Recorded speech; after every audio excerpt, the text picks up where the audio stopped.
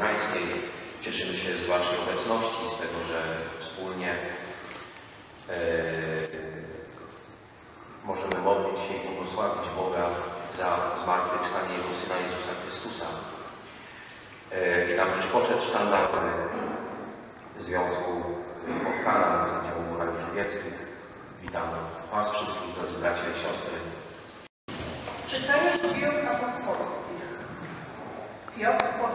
do ludzi, Bóg Abrahama, Izraela i Jakuba, Bóg ojców naszych sławił sługę swego, Jezusa.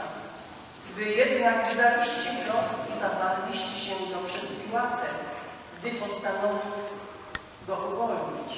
Zawarliście się świętego i sprawiedliwego, a wyprosiliście ułaskawienie dla zabójcy. Zabiliście dawcę życia, ale Bóg wskrzesił go z martwych, czego my jesteśmy świadkami.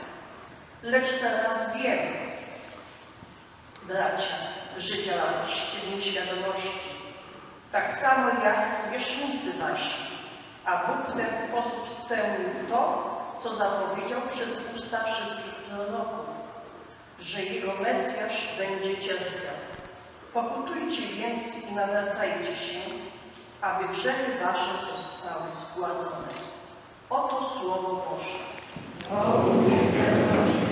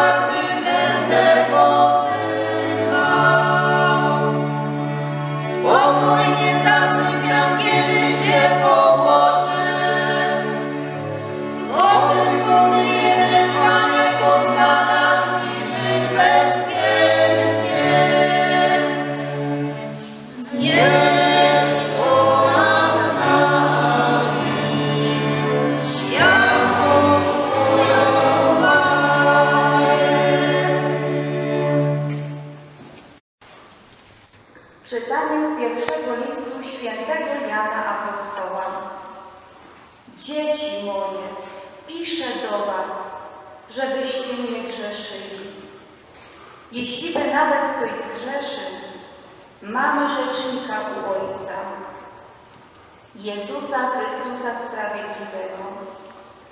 On bowiem jest ofiarą przebłagalną za nasze grzechy. I nie tylko za nasze, lecz również za grzechy całego świata.